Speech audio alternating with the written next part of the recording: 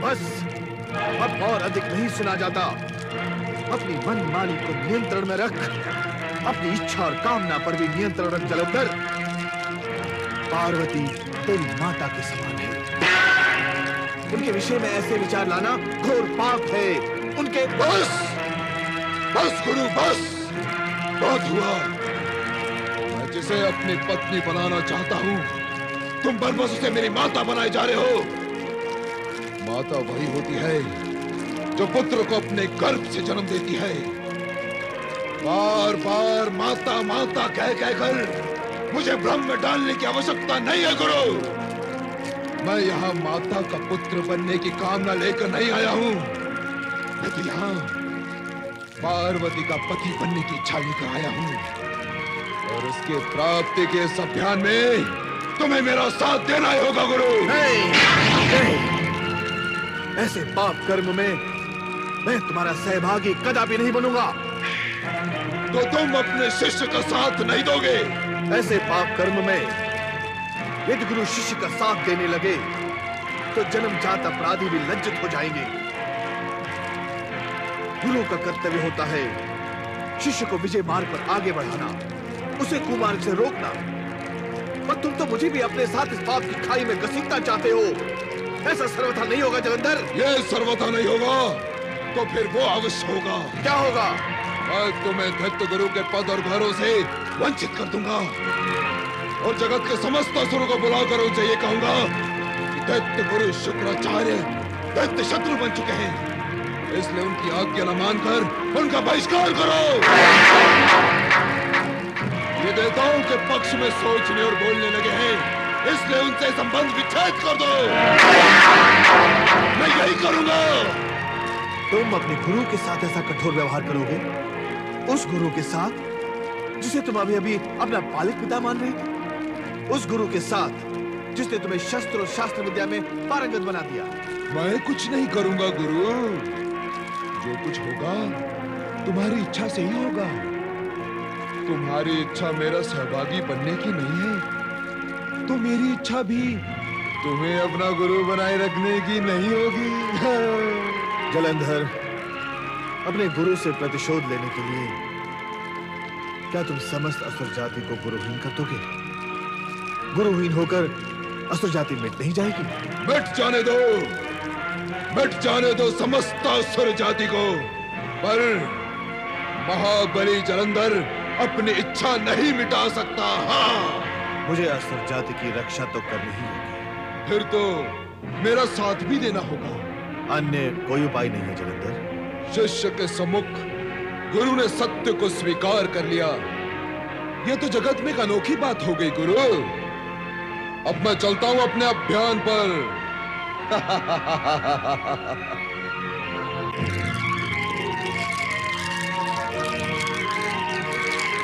ये आपने मुझे किस धर्म संकट में डाल दिया शिव शंकर? तुम्हारी इस दीर्घ मुस्कान का क्या कारण है देवी? आज आपका ध्यान समाधि में नहीं है। इसलिए मेरा प्रसन्न होना स्वाभाविक है स्वामी। हमारी समाधि का तुम्हारी प्रसन्नता से क्या संबंध है देवी? स्वामी आज आपकी समाधिस्थ न होने के कारण आपको अवकाश है। समय है।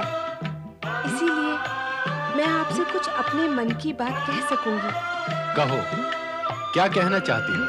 ये बताएँ प्रभु लक्ष्मी देवी और श्री हरि विष्णु जलंधर के अतिथि बन चुकने के बाद अब देवताओं के शुभ चिंतक रहेंगे या नहीं? नहीं। जलंधर के विषय में चर्चा हुई है। तो ये भी सुन लो। कैलाश निवासनी पार्वती अब तुम्हें जलंधर के महल में महारानी बनकर रहना होगा। मैं इस समय यहाँ यही प्रस्ताव लेकर आया हूँ। अरे दुष्ट राहु श्री हरि विष्णु के सुदर्शन चक्र से कट कर भी तूने पापाचार और अनाचार त्यागा नहीं। अब क्या तू हमारे क्रोध से भस्म होने यहाँ आया है? पहले मैं इसी भय से भयभीत हुआ था। किंतु फिर ध्यान आया, मैं अमृत पीकर अमर हो चुका हूँ। इच्छा करने पर भी आप मेरा कुछ भी अहित नहीं कर पाएँगे। मुझ पर क्रोध करना व्यर्थ होगा, महादेव। मैं तो केवल महाबली जलंधर का संदेश प्रस्ताव लेकर यहाँ आया हूँ।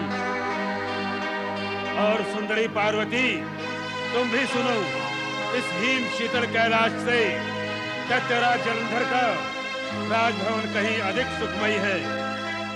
वहाँ आप दैत्यों की सम्राज्ञी बनकर रहेंगे।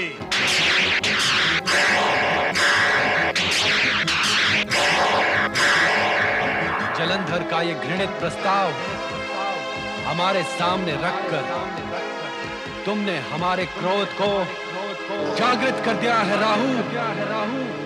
अब जाकर दुष्ट जलंधर से कहना कि ये विचार त्याग दे। अन्यथा हमारे क्रोध का भाजन बनेगा, जिसका परिणाम महाभयंकर होगा। और वो होगा केवल जलंधर का अंत ये तो समय बताएगा महादेव कि किसका अंत होगा? नारायण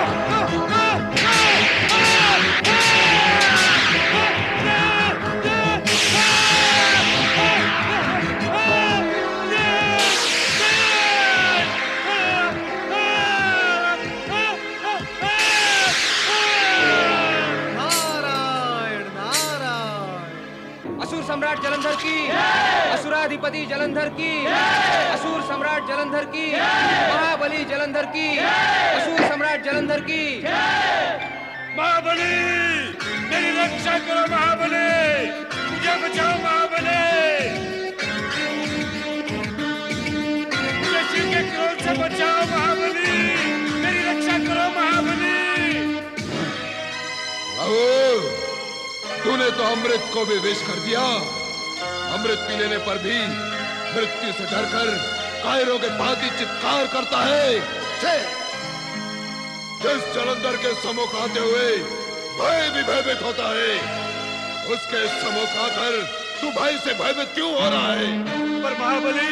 राहु हमारे सामने आने से पहले ये पर और परंतु समुद्र में फेंक कर आया करो। हमारे राज्य में शिव और उसका क्रोध प्रवेश नहीं कर सकता। अब कहो क्या समाचार लाए हो? महाबली मैंने जब आपका प्रस्ताव वहाँ सुनाया तो शिव पार्वती दोनों ने सुनकर रुद्र रूप दिखाया और आपके प्रस्ताव को ठुकराकर क्रोधाग्नि मेरे पीछे छोड़ दी। मेरा विचार है कि आप पार्वती को पाने का विचार ही त्याग दें।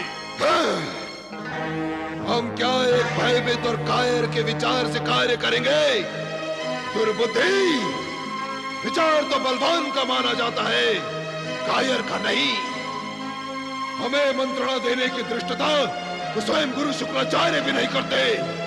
तो तूने इतना साहस कैसे जुटा लिया कि हमें विचार पर विचार करने की मंत्रणा दे? महाबली जो विचार नहीं करता वो अनाचार पापाचार और अत्याचार करने लगता है।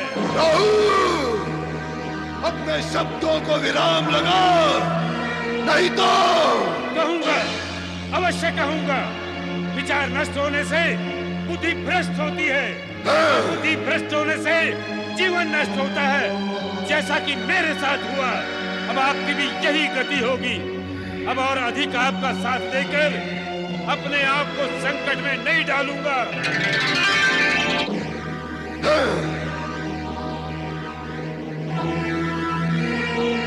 सेनापति आप क्या करें महाबली? तुरंत कैलाश पर आक्रमण करने की तैयारी करो। जैसी आपकी आज्ञा महाबली। और गुरु शुक्राचार्य से जाकर कहो कि हमारे इस कैलाश विजय अभियान में तुरंत सम्मिलित हो। आपकी आज्ञा का पालन होगा महाबली। क्या गुरु शुक्राचार्य की मति इस सीमा तक भ्रष्ट हो गई है? कि उन्होंने अपने जनक शिव पर आक्रमण करने के लिए जलंधर को परामर्श दे डाला।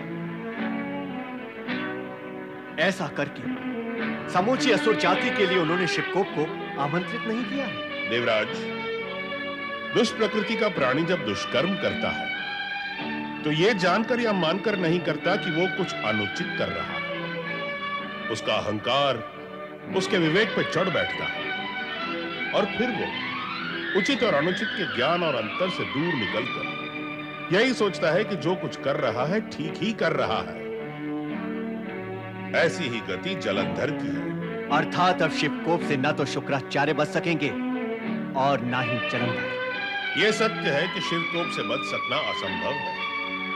किंतु यह भी सत्य है कि अपनी पत्नी वृंदा के सतीत्व के फलस्वरूप जलंधर अपार शक्तिधारी है।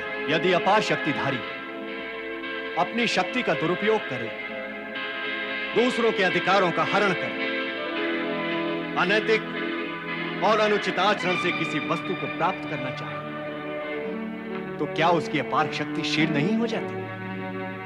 क्या वो नैतिक और चारित्रिक रूप से दुर्बल नहीं हो जाता? हाँ देवराज। ऐसा शक्तिशाली भी ऐसी स्थिति में दुर्बल हो जाता है। इसका अनुभव स्वयं आपको भी तो है। आप मुझे लज्जित कर रहे हैं गुरुदेव। सत्य की स्वीकृति में लज्जा कैसे? सत्य स्थान अवश्य बदलता है। किंतु स्वयं कभी नहीं बदलता। और यह सत्य, जगत के हर एक प्राणी पर घटित होता है। मैं, तुम, जलंधर, अथवा अन्य कोई भी, जब अपनी शक्ति का दुरुपयोग करके दूसरे के लिए कष्ट का कारण बनते हैं तो यही कष्ट देने की भावना सिर पर बैठकर हमें दुर्बल बनाती है और हम स्वयं कष्ट में आ जाते हैं। देखना, यही गति जलंधर की भी होगी। मेरे भैया जलंधर ने कार्य तो अनुचित ही किया है। क्या भोलेनाथ उसे क्षमा कर देंगे? अथवा दंड देंगे? देवी लक्ष्मी। अब क्या होगा प्रभु? जो भी होगा विधि की रचना के अनुसार ही होगा। अर्थात भगवान शिव क्या मेरे भैया जलंधर को अपने क्रोध से भस्म कर देंगे? तुम क्या चाहती हो? वो तुम्हारा भाई है? इसलिए भगवान शिव कैलाश पर उसका स्वागत करते हुए पार्वती को सहर्ष उसे सौंप दे और उसे कहें कि पार्वती मैं तुम्हें सौंपता हूँ। भस्म मैं किसी और को कर दूँगा क्योंकि तुम लक्ष्मी के भाई हो। यही चाहती हो तुम? मेरा अभिप्राय ऐसा तो नहीं है। तो फिर क्यों चिंतित हो? अपने उस भाई के लिए जो महापाप और दुष्कर्म के लिए सचेष्ट है क्यों डूबी हो शोक में? अपने उस महापात की भाई के लिए जिसे न तो बहन बहनोई की लाज है और न ही महाशक्ति का मान सम्मान धरती के प्राणी इसी कारणवश तो दुखी हैं। जगत में इसीलिए तो अशांति है। मानव का चरित्र इसी कारण से ऊपर नहीं उठ पा रहा है। नैतिकता और मर्यादा इसीलिए तो सीमाएँ लांग चुकी हैं। किस लिए प्रभु? किस लिए? ये सब आप किस विषय में कह रहे हैं? स्पष्ट है कि तुम्हारे और जलंधर के विषय में कह रहा हूँ। जब एक भाई किसी की पत्नी पर कुदृष्टि डालता है तो बहन को दुखी होने की क्या आवश्यकता है? उसे तो क्रोधित होना चाहिए। उसे विधाता से प्रार्थना करनी चाहिए कि उस महापापी को धरती से उठा ले। यदि ऐसा हो तो पापी पाप करने में संकोच करेगा। किंतु ऐसा होता नहीं। जब ऐसा नहीं होता तो किसी की बहन, पत्नी और पुत्री पर कुदृष्टि डालने वाला अपने बहन और संबंधी के मौन को अपने कुकर्म की सहमति मानकर प्रोत्साहित होता है और आगे चलकर प्रोत्साहन का यही मार्ग प्रकृति के संकेत पर मृत्युलोक की ओर मुड़ जाता है। नहीं प्रभु नहीं। एक चरित्रहीन भाई के हित में तुम कई बार नहीं नहीं बोल चुकी हो। किंतु जगदम्बा पार्वती के प्रति मर्यादाहीनता का आचरण करने पर भी तुमने उसका विरोध करते हुए भी एक बार भी नहीं नहीं कहा। तुमने जलंधर को एक बार भी रोका टोका नहीं कि माता के समान पूज्य पार्वती के प्रति अपवित्र विचार न करे। जगत के साधारण प्राणी और मानव इसी पक्षतापूर्ण व्यवहार के कारण ही दुखी अशांत व पीड़ित हैं। वे भूल ही जाते हैं कि पति, पुत्र व भाई को कुकर्म के लिए प्रताड़ित न करके, निष्पक्ष भाव से उनका कठोर विरोध न करने से वे कुकर्मी को कष्ट के कठोर कुठारे में ढकेल रहे हैं। क्या हम सबको ये आचरण शोभा देता है? नारायण नारायण ऐसा करना तो पृथ्वी के प्राणियों को भी शोभा नहीं देता श्री हरि किंतु मनुष्य का तो स्वभाव ही बन गया है। नारद अब तुम किस स्वभाव की बात करने लगे? मनुष्य स्वभाव की बात कर रहा हूँ मैं माता मनुष्य स्वभाव की बात कर रहा हूँ। इन दिनों धरती वालों ने जो आए सो प्रसन्न जाए की नीति अपना रखी। है अर्थात कोई किसी को दुष्कर्म करने से रोकता नहीं। क्यों? सभी दुष्कर्मी है। एक दुष्कर्मी दूसरे दुष्कर्मी को दुष्कर्म करने से क्यों रोकेगा? नारायण नारायण। क्या धरती पर एक भी सत्कर्मी शेष नहीं रहा? नहीं नहीं। इतना निराश होने की आवश्यकता नहीं। शेष है किंतु करोड़ों में एक जिसकी पुकार दूर तक नहीं जाती। इसीलिए कोई कुछ भी करता है उसे कोई कुछ नहीं बोलता। इसीलिए धरती पर अत्याचार और अनाचार बढ़ रहे हैं। नारद तुम्हारे आने से विषय परिवर्तन हो गया है। तो मैं फिर चला जाता हूँ। विषय वर्तन में आ जाएगा। वैसे मेरा विचार है कि महाबली जलंधर के विषय में चर्चा हो रही थी। हाँ नारद देव लक्ष्मी इसीलिए चिंतित है कि कहीं भगवान भोलेनाथ जलंधर को भस्म ना कर दें। कदापि नहीं। अपने ही तेज से उत्पन्न महाबली जलंधर को वे कभी भस्म नहीं करेंगे। नारद की बात पर शंका ना करो देवी। जलंधर कितनी भी नीचता का प्रदर्शन करे किंतु भोलेनाथ अपनी गरिमा के अनुरूप ही कार्य करेंगे। हाँ दोनों के युद्ध का रूप क्या होगा ये तो समय ही बताएगा। नारायण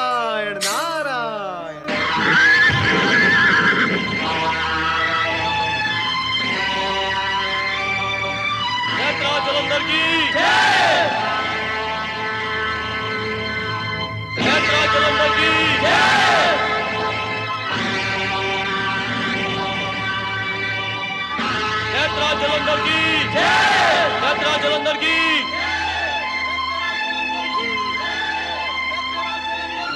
स्वामी, कैलाश पर पहुँचने से पूर्व ही इन्हें नष्ट कर दें। जलंधर को कैलाश तक पहुँचने दो। उसकी दृष्टता का दंड उसे अवश्य मिलेगा।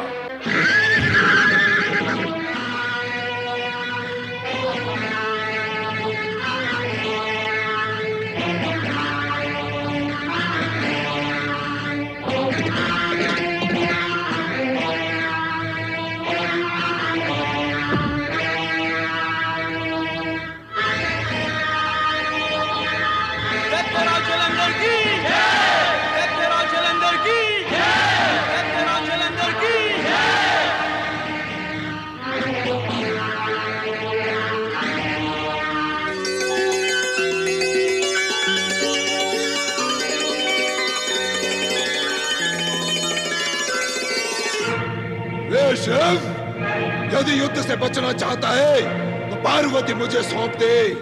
सौंप दे मुझे पार्वती।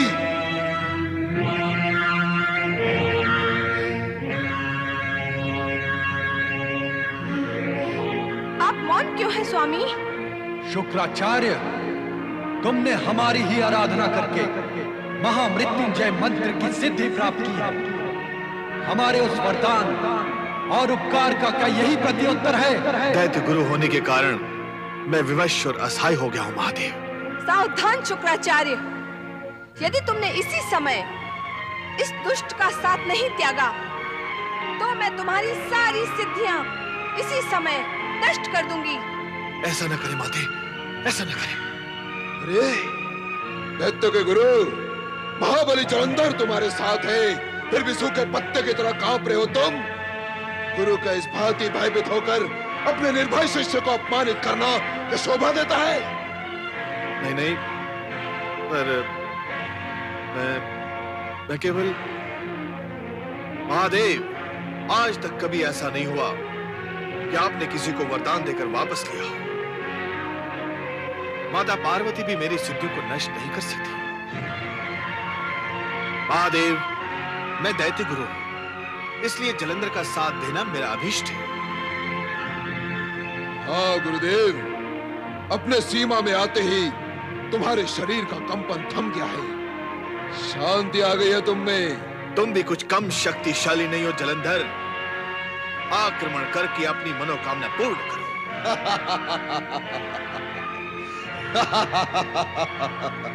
पार्वती ने मेरा मन मोह लिया है।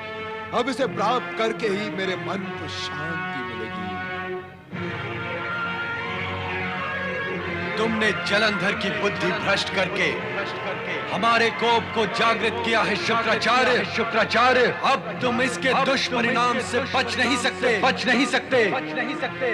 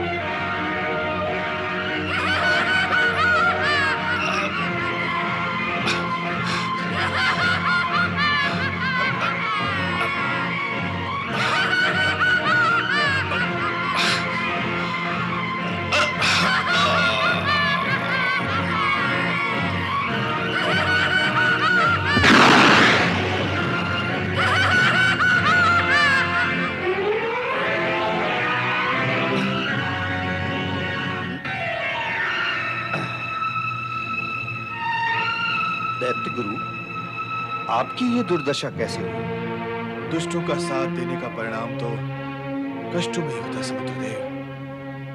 मैंने दुष्ट जलंधर का साथ दिया तो परिणाम भी मुझे ही भोगना होगा। कोई दूसरा तो नहीं भोगेगा। अच्छा हुआ भगवान शिव ने दया करके मुझे जलंधर से दूर कर दिया। अन्यथा शिवकोप से तो मैं नष्ट ही हो जाता। हे शिव शंकर आपका ये उपकार मैं कभी नहीं भूलूँगा। कभी नहीं। शुक्राचार्य अभी आप कुशल हैं। आप अपने आश्रम लौट जाइए। आओ सुंदरी मेरे समीप आओ। मेरी रानी बनकर स्वर्ग से भी अधिक सुख भोगो। इस भभुतधारी से भला तुम्हें वो सुख का प्राप्त होगा जो मैं तुम्हें दे सकता हूँ। आओ। मेरे समीप आओ। सावधान जलंधर सावधान जलंधर वीर भद्र! वीरभद्र वीरभद्र वीरभद्र वीरभद्र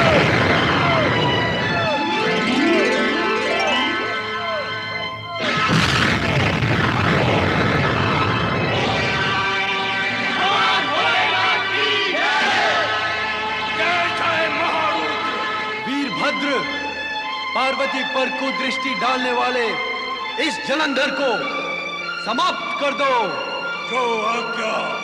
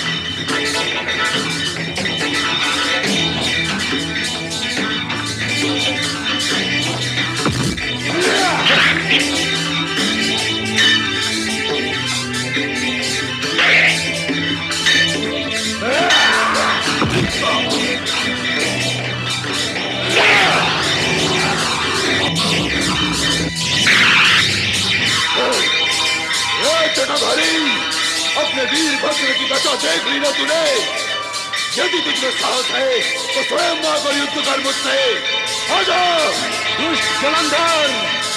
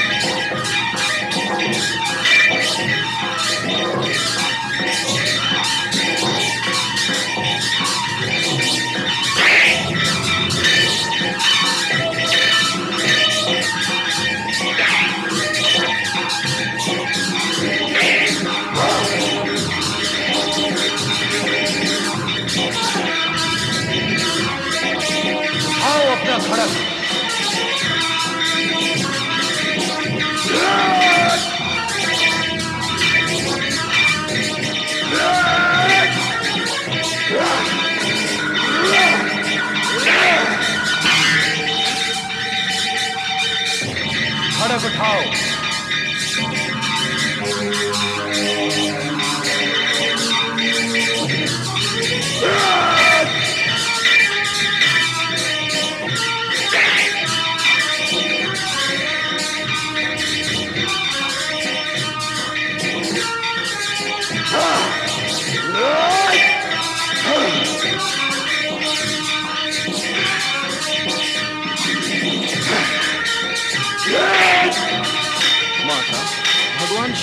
जलंधर का युद्ध और भी भयंकर हो गया है। न जाने क्या परिणाम होगा। परिणाम हमारे पक्ष में ही होगा, नंदी। मेरे स्वामी, इस दुष्ट को शीघ्र ही समाप्त कर देंगे।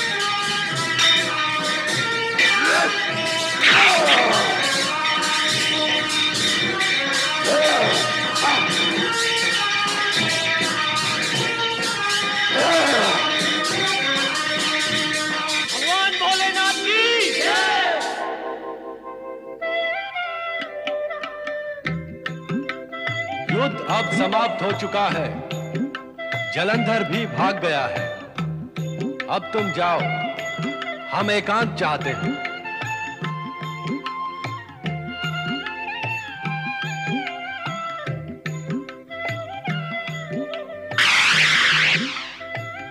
स्वामी क्या हुआ?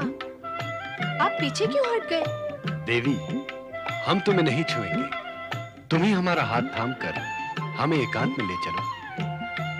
आज से पहले तो आपने ऐसा व्यवहार नहीं किया था स्वामी। आज आपको क्या हो गया है? कुछ भी तो नहीं। आओ हमें अपने हृदय से लगा लो। आओ सुंदरी। आओ भी सुंदरी।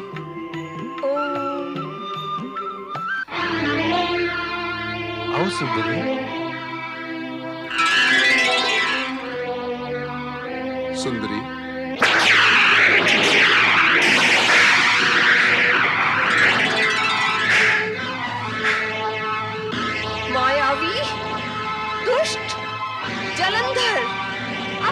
जीवन की श्वासें समाप्त हो चुकी हैं।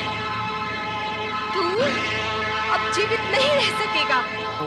श्रीहरि श्रीहरि ये कैसी शिवलीला आरंभ हो रही है? नारद लीला तो ऐसी और वैसी ही होती है। और फिर शिवलीला वो कब और कहाँ से आरंभ होकर कब और कहाँ समाप्त होगी इस विषय में कुछ भी नहीं कहा जा सकता। क्योंकि उनकी लीला अभी गतिमान है। गंतव्य तक नहीं पहुँची है। जब पहुंचेगी, तब सुखद परिणाम लेकर ही पहुंचेगी। अतः, हम सबको उसकी प्रतीक्षा करनी होगी। श्री हरि विष्णु!